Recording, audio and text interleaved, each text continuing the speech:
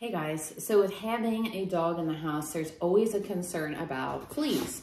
So I have this really fun little flea trap that I wanna show you. So it is also going to have a light attached to it. So it's gonna be perfect for little decoration as well um, in your home. So this is what it is going to look like. Um, gonna be very easy to put together.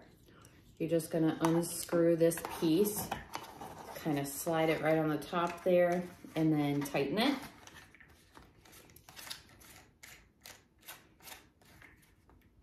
So just like that. And then it's gonna come with two little bulbs here. So this is going to protect your home against those pesky little fleas. You'll put the light in the top there.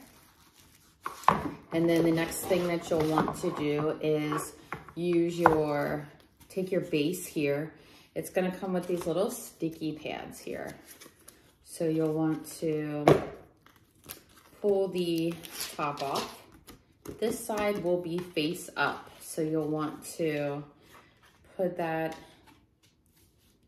in here, just like that. And then you'll want to take your top of your pumpkin and just slide it right in there. So there,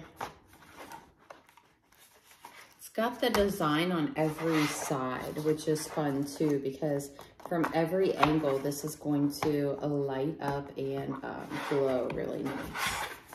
So, how cute is that?